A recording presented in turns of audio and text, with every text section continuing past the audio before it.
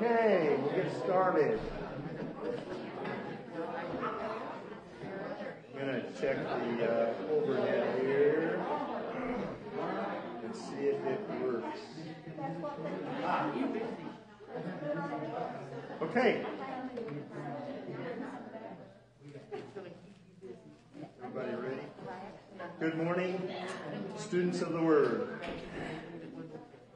I want to welcome everybody that's uh, here and is joining us um, on live video or viewing it later. And if you are watching the video, why please leave a comment so we know that you're there or that you saw this. I have a correction from last week. I mentioned that Denny's class had not been videoed. Not correct, not correct. Those of you who were here know that that wasn't correct, and here's the deal. I even watched it.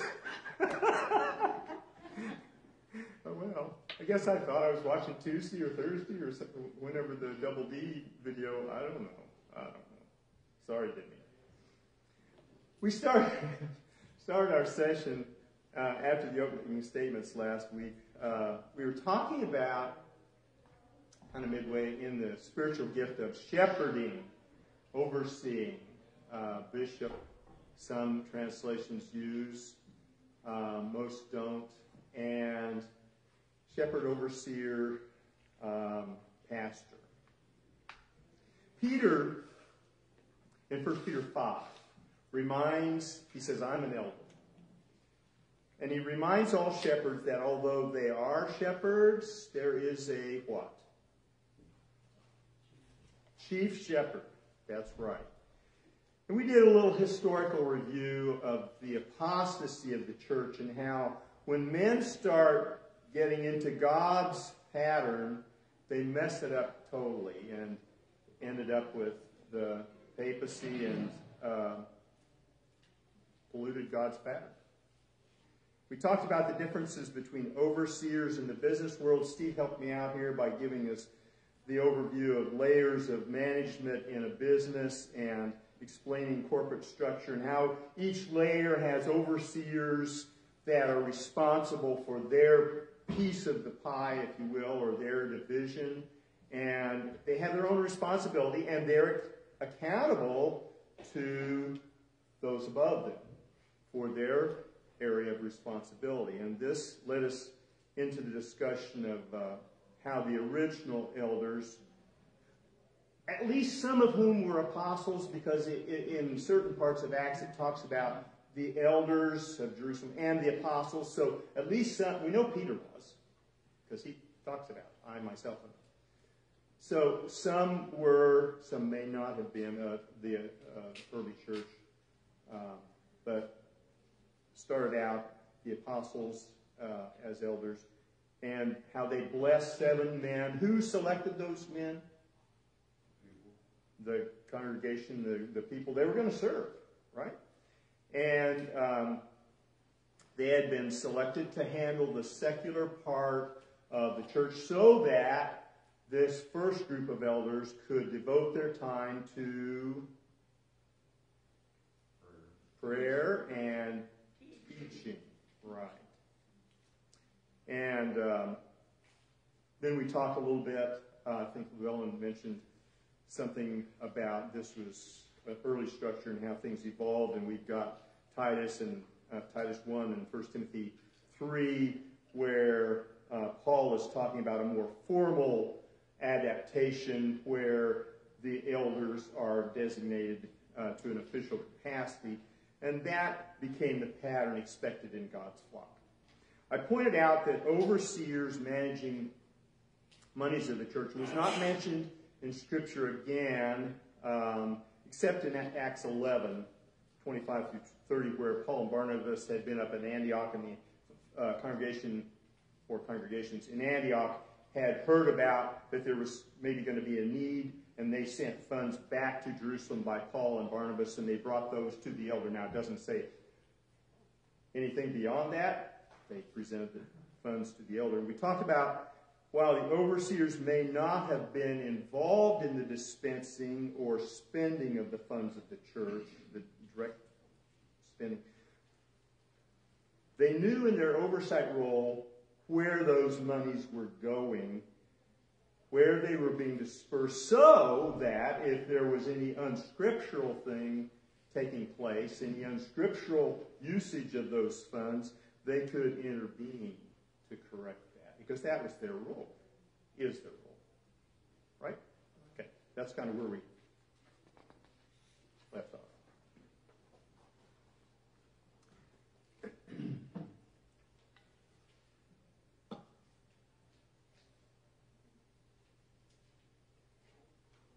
This spiritual gift of shepherd, overseer, bishop, is a unique gift in that it has um, something that we don't see with any of the other gifts. There's a checklist of qualifications for someone to serve in the official capacity of an overseer, of a pastor, of an elder. And I'm using those interchangeably. I hope you understand that. Um, and this uh, checklist is delineated in first uh, in Titus 1 and in 1 Timothy 3. But even before you get to that list, there has to be a desire on the part of the individual to serve as an overseer. And clearly being being a pastor, being an elder, being a shepherd is a gift. I mean, not everybody is given that gift. But even if one has been gifted with the ability to serve as an overseer, if he lacks the desire to do so, is that somebody you would want in that official capacity? No. Because if, let's say that we've got somebody that has the, the gift of, of giving, and they don't want to give, you know, you, you don't say, well, okay, I guess we're just out of, you know, they, they won't function in that role. So, absent the desire to serve as an elder, one would do a poor job. And what's the desire to be? Is it, is it so that he can have prestige or power? No, I see heads going no. And we've already talked about um, the good shepherd, right? We talked about the good shepherd's qualities. The person qualified for this office, though, is, just as with any other gift, is already performing these things, is already using their gift even before they're officially designated or appointed. The individual who has this gift is already showing concern for the well being of the flock, is already looking at fellow believers how can I help them grow stronger? He's already trying to think of ways to encourage him, those around him in the congregation to use their spiritual gifts to help grow the flock. He's already teaching truth to make certain error can be recognized. And he's already helping members mature and grow because this is his gift. Maybe he's not in the official capacity, but he's already doing these things because that's, that's what is laid on his heart by the Holy Spirit. Um, the ideal shepherd is not an Absalom. Sitting at the city gate, trying to curry favor so that he can step into the seat of power. No. No.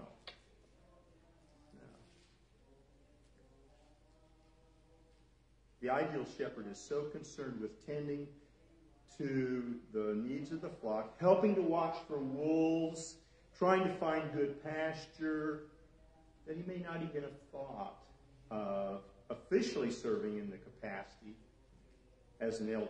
He's just too busy trying to be the best servant that he can be to for the good shepherd. Does that make sense? Yeah.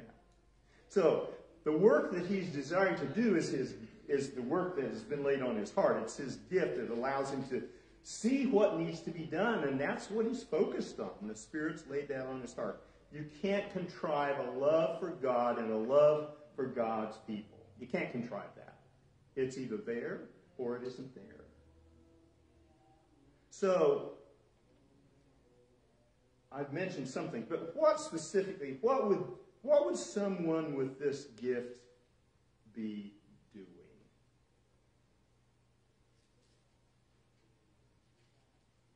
serving the flock. Okay? Give me an example. Well, uh, just, just like any shepherd, uh, shepherd has to look at the feet of the sheep, he has to look at the, at the coat that they have, uh, just general well-being and spiritual welfare. Uh, but in order to do that, he has to teach, which, you know, would, would correspond with feeding. Uh, sometimes they have to have the birds hurried out. Uh, you know, as, as a shepherd, the shepherd stayed with them most of the time, twenty-four hours a day. It was a twenty-four seven job. No Would, one would, this person be a student of the scripture? Would this person be aware of missing sheep when the body comes together? Would this person maybe call people, hey, how you doing? We missed you. Or write a note, or let's get together and have some coffee and just see how you're doing.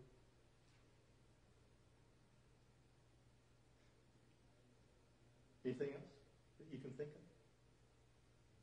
Teaching, Mark mentioned. And it wouldn't be a burden for that person to teach, would it? It would be something they'd be delighted to do. And often when we think about teaching, you're, what you're doing right now. But obviously, this isn't contained to this building and what goes on when we get together, although that, is- that, you can say, obviously, that could be part of it, but I don't know that they actually had the structure that we have No. um, when this, these things were written. So, uh, teaching is really far-reaching. It's, it- well, sitting down with someone over a cup of coffee, teaching can take place there, um, even over the phone. So it's not necessarily this formal standing up in front of everyone and, and teaching. Right. They may have written Facebook articles on the, in the first century for the church. You know, who knows? No. Now, one thing, I don't know if this is what you're driving at or Mark, I think, uh, number one is make sure, without a doubt, the word is pure. Students of the word so they know what is not in the word. Because if you don't, well, don't get into that. Well, if you don't, it's a, as who, but it- who, oh, uh, McConnell talked about it, it's a car, it's a car wreck. It's a car pileup, a hundred car pileup. Yeah, Well, yeah. uh, you know, a lot of times we create our own problems. Oh, yeah. Most of the time. And, well, yeah, most of the time, and it's just from not staying on top of something, to make right decisions, so that's the reason we need to pray about that. Yep. Well, it, it says that a, a, uh, a man that serves as an elder and does a good job is worthy of double honor. Exactly. Uh, so, What's that talking about? uh, both here and in the life to come, I assume. Well, it also talks about pay. It also talks about pay because he's talking about how that the ox that take, gets the grain out of the stocks and so forth needs to be allowed to eat. And so it definitely has a linkage to pay. We're going to talk about this in a little bit. Um, because uh, I think it's Peter that talks about you don't desire this office for the pay, for the money that you can get from it. Well, but I, I assume that for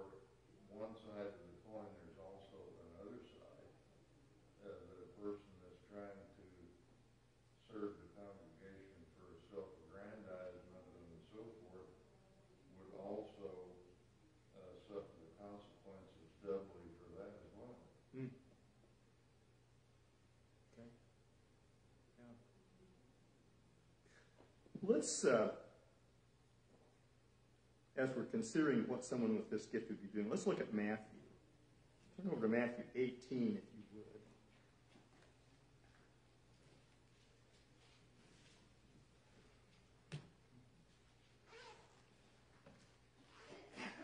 When uh, Matthew 18 starts, there's a parallel passage in Luke 9 and in Mark 9.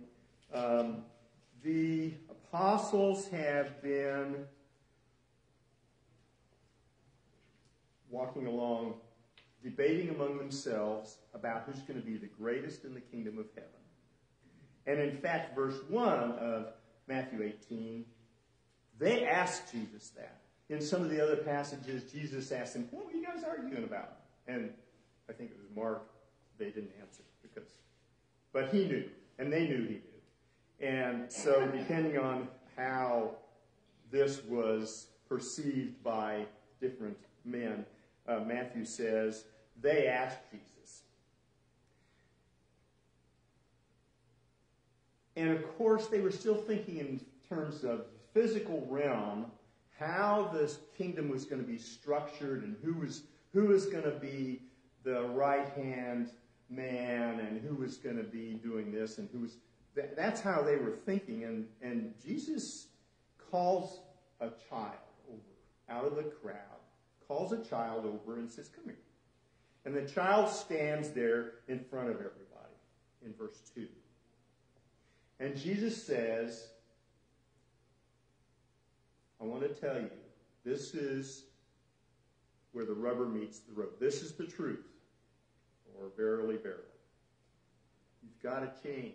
Got to change the way you think about things. You've got to become like a little child. Otherwise, you will never enter the kingdom of heaven.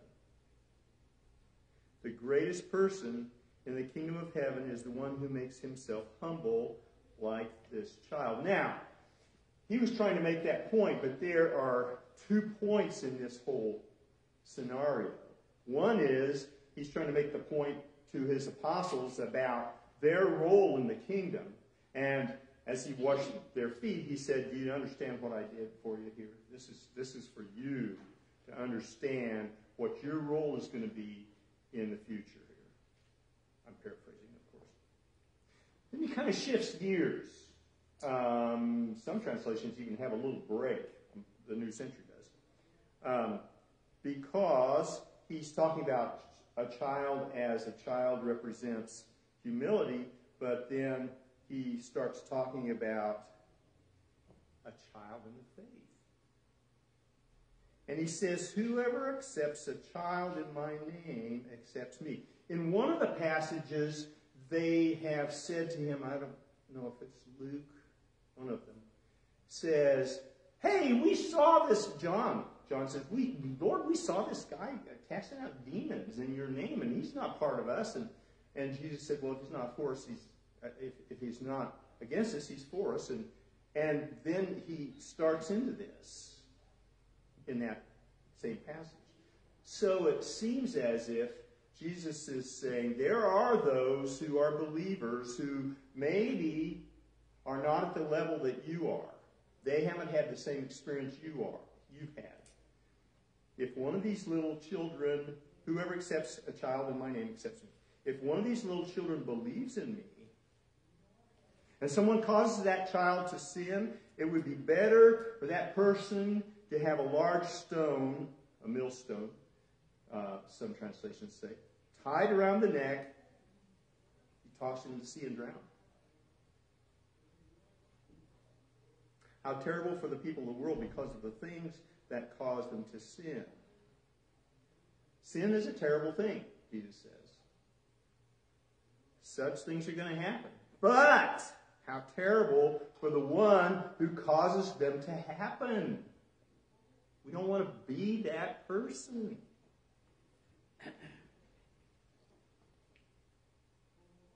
If a man has a hundred sheep, but one of the sheep gets lost, he'll leave the other 99 on the hill and go look for the lost sheep. I tell you the truth, if he finds it, he is happier about that one sheep than about the 99 that were never lost. In the same way, your Father in heaven does not want any of these little children to be lost. This is an example of shepherding.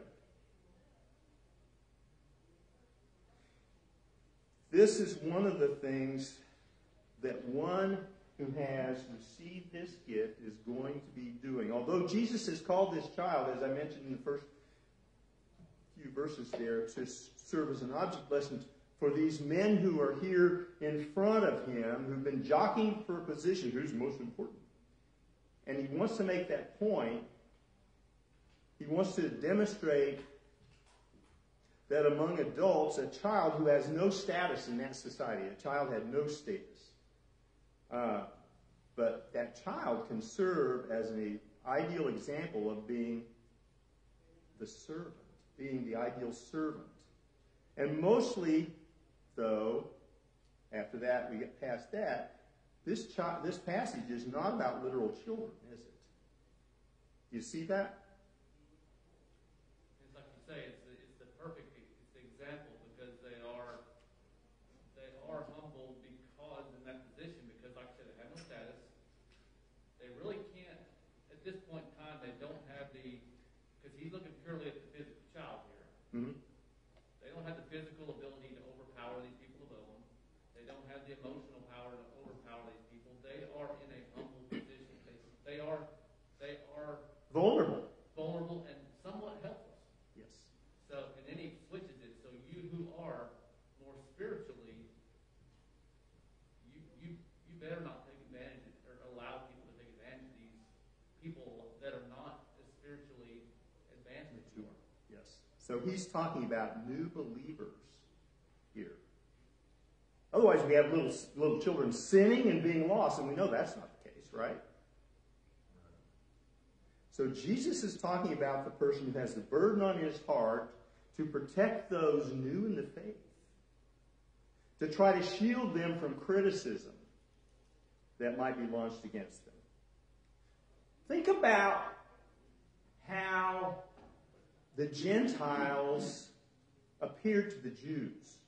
Totally ignorant, totally naive to the Jewish, the things that the Jews, everything that they associated with being godly. And it is no wonder that God said through the apostles, no, no, no. Not this circumcision stuff, not this sacrifice stuff, not this keeping the law. No, no, no. Because they didn't have any of that background. Think how easily it would have been for them to get discouraged if those things had been set on them right from the beginning. And Paul says, Peter, Peter, no, no, no. You're not even keeping the law yourself. Why are you trying to bind on these new ones?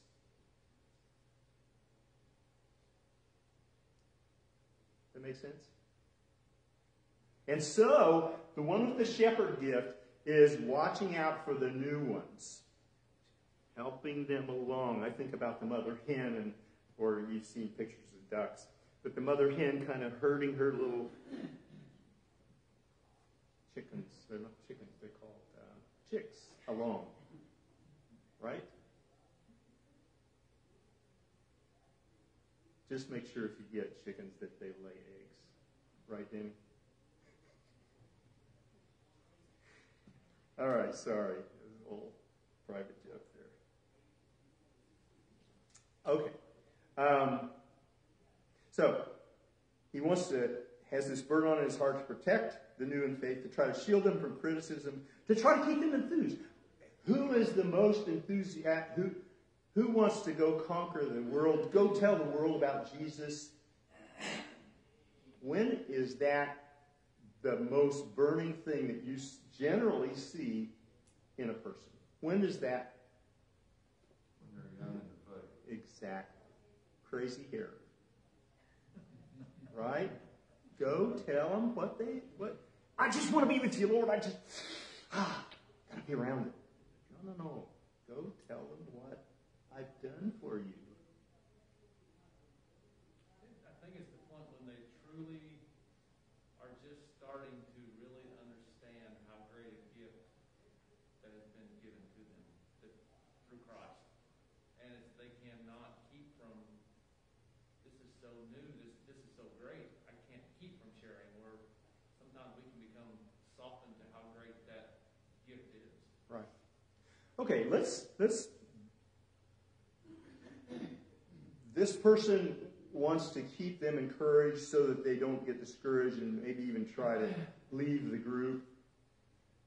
Some concrete examples of that. Let's say that we've got a new couple in the faith and they come to meet with the body and they've got a t-shirt one he has a t-shirt on that's got profanity on it. Is that somebody we would jump all over? No but we wouldn't let it go would we? Let me tell you here brother. You, you you're walking a different path. And you, you know you, the, the lord is to be revered. The Lord is to be honored. We, we don't want to we don't want to use His name or, do anything that would bring shame to Him, right? And what do you think about that T-shirt? Do you think maybe do you think it would fit into the Scriptures? What are you doing? You can't be in here with that shirt. Go change. Go home and change your shirt. Difference, isn't there? The shepherd heart versus maybe how we would react. Well, there would definitely be a reaction among the group, I can tell you that. Oh, yeah. You know, we all would have a reaction. Oh, yeah. that. Yeah.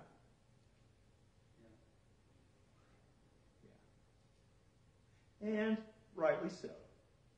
Rightly But so. But it matters, like you're saying, it matters. Yes.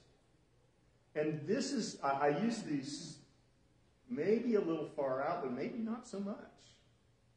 Examples because um,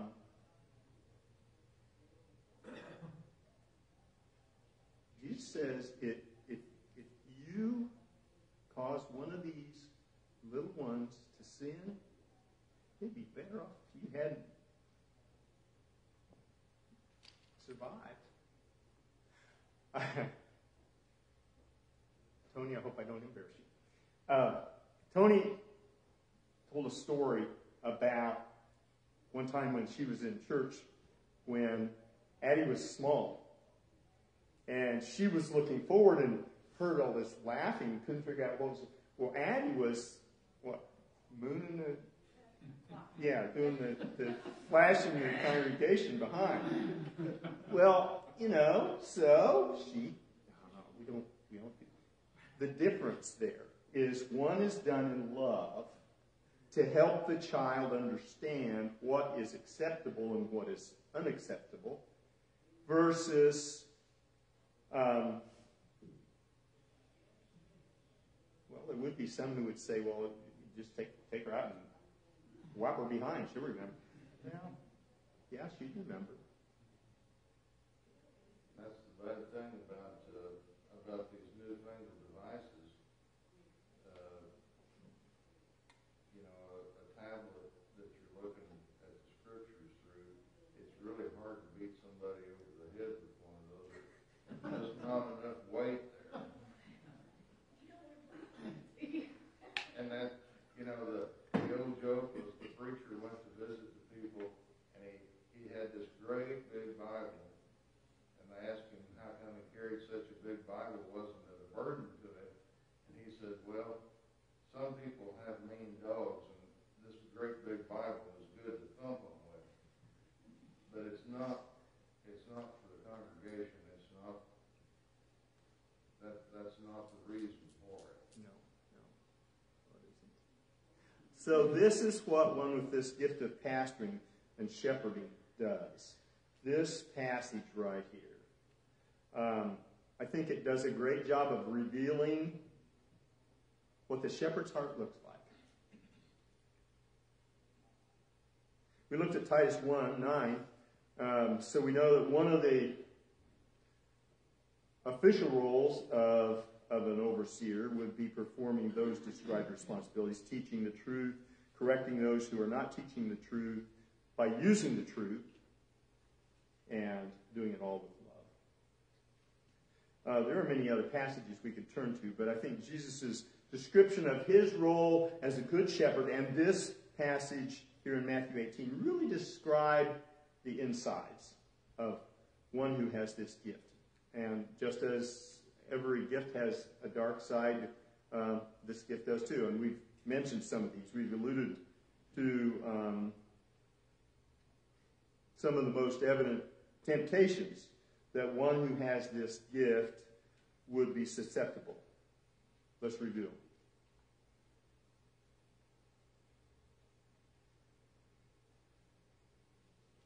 I'll start you off. One of these is this is my domain. This is my flock. This is this is my realm to command. No. Good shepherd. Go ahead, Dave. Well, so what you're saying, I think, is it's what the Spirit does with the gift versus what the flesh tries to do with it. Exactly. Yeah. And there's always that pull, isn't it? Romans 7. There's always.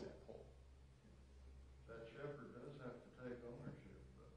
Yes, it's going to be held responsible. Yep.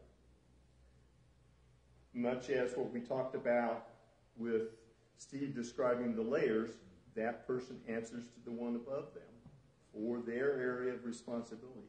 Um, what's another dark side trait? Pride. Yep, pride. Forgetting to lead by example as opposed to getting behind with the cattle prod. Right? Um, Cry- Crying can be a wonderful thing, and it is. I'm proud of this group. we talked about that with, in 2 Corinthians, didn't we? Where Paul talked about, I'm proud of. it. And I am too. I am too. Proud to know y'all. Proud to call y'all brothers and sisters. But I think what Dave's talking about is, say,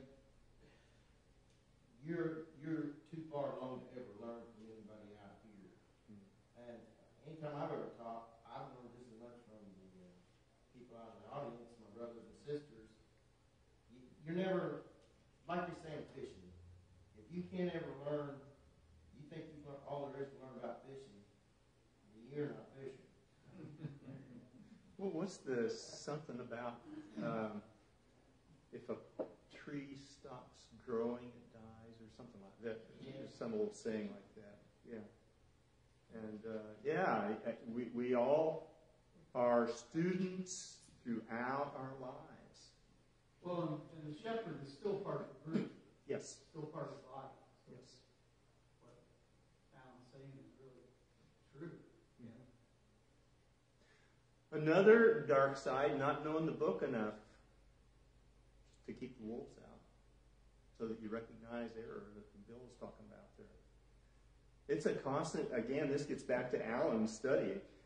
It's a constant study, study, study, study, because you always come up with something different every time you go through it. I've heard uh, Jody talk about this, if not in here on Tuesday morning, about how our perspective in life is constantly changing. And so we look at a scripture that we looked at even last month, and we may see something that we didn't see before because our perspective is ever changing. Um, this is a tough one. Using wisdom to use the Solomon sword to separate tradition from man's tradition, from God's tradition and commands. Ooh, that can be a really fine line. And knowing the flock well enough to know how to present that. I think that comes back, to where Denny was, he broadly said spiritual versus physical fighting each other. What, what motivates your actions? Right. So if your motivation of separating this tradition from church, church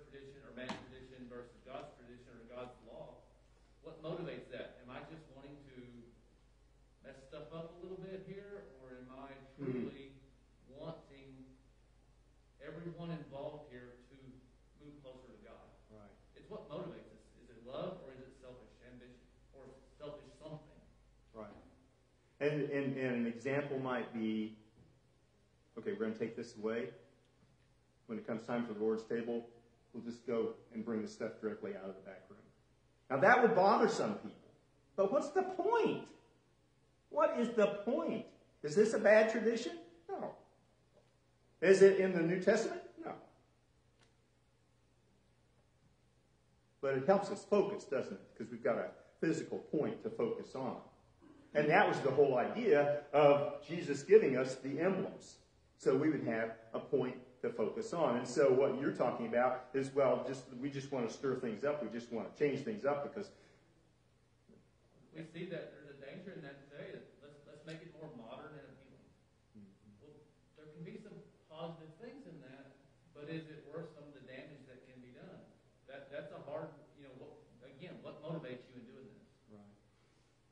So where, where is the differentiation between, uh, one of these little children and a mature person to come?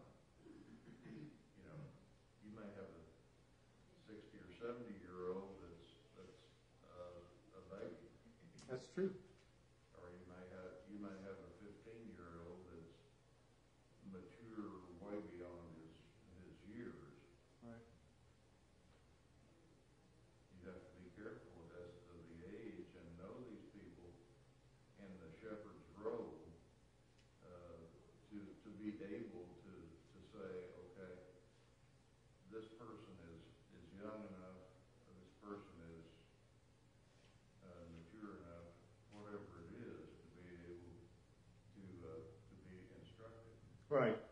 Calendar years have nothing to do with spiritual maturity, do they? And even even if somebody's been in the church, you could say, well, somebody's been in the church for 30 years, they should know better. Well, maybe they should. Well, this is where the teaching comes in Yes. as well. If somebody's disgruntled uh, about something, or you know, the decision is made to do this or do that, and it's not a you know something that's uh, against God in any way, shape, or form, then then that's where the teaching, it's where, where the caring and the love for the flock comes in. Um, like Jody was saying, I mean, do you, do you do you do this and disrupt everything, or do you, you know, is, is there a time to, to teach about uh, things and, and, and help people see so that, you know, people come along? and, Yeah. You know, We, we, we, we all, this is a gross generalization. There may be a few exceptions to this, but we all resist change. We may think that we're great at making changes, but eh, don't mess with my mess. Well, I've been in the church, before we took the Lord's Supper, we was to turn and tell the person next to us that we love them. Yeah. Made me feel great, somebody tell me they love me, okay? But Alan, I love you. I love you too. But I got to think about that later. I don't know if it's all about me feeling that great or I'm supposed to be focused in on that. You see what I'm saying? So I, I But if you have something against your brother, you go to that brother and get it straightened out before you, right? So, you know, I don't know. But I'm just saying.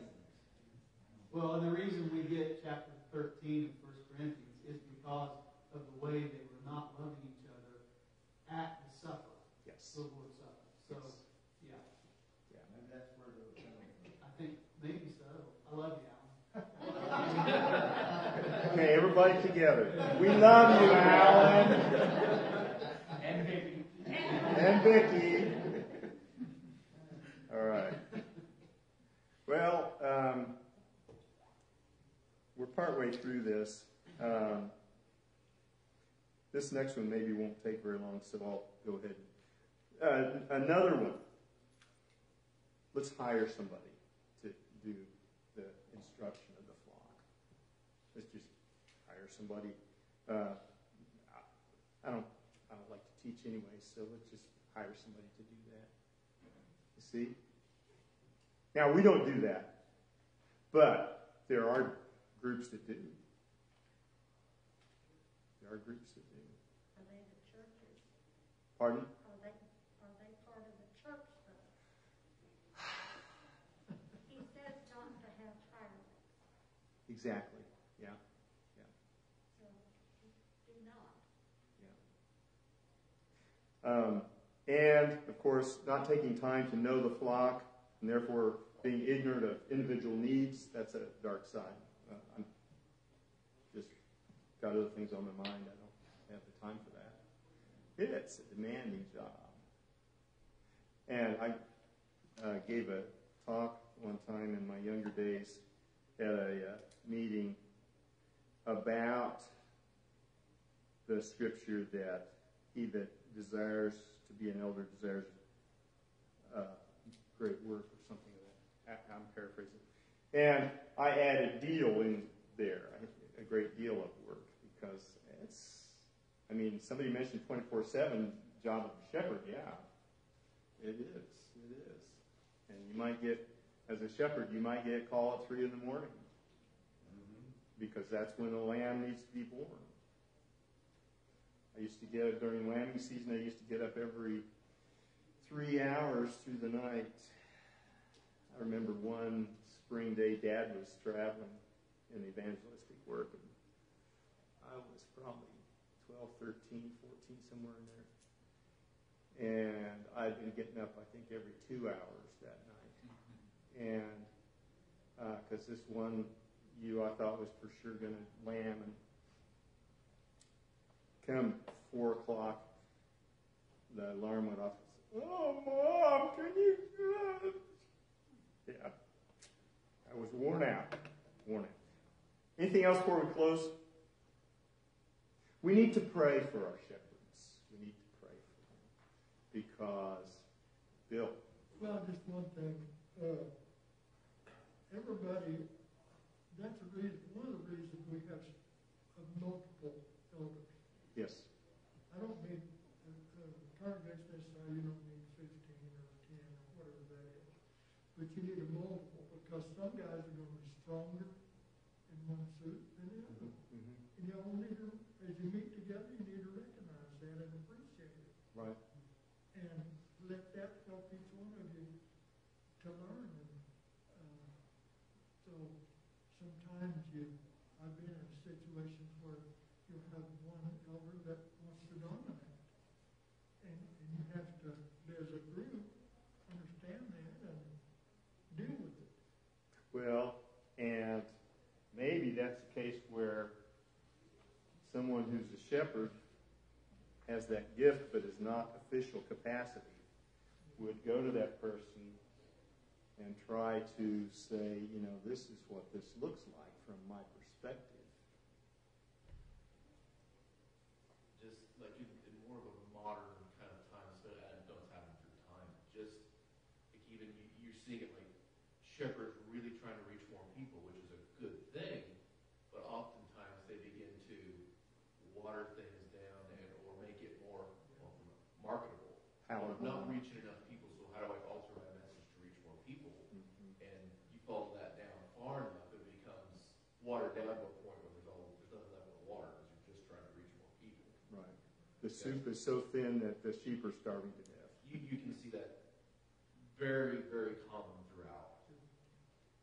Like there's just, I'm just not got enough people in the seats, so how do I alter my message? It may be leaving it completely to just put more people in the seats. Yeah, and, and I think that's what Jody was alluding to earlier.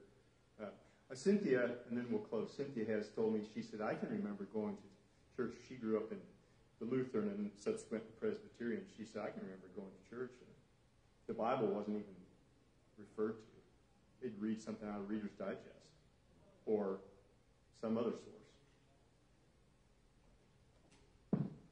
Let's uh, say, Alan, are you in a praying mood?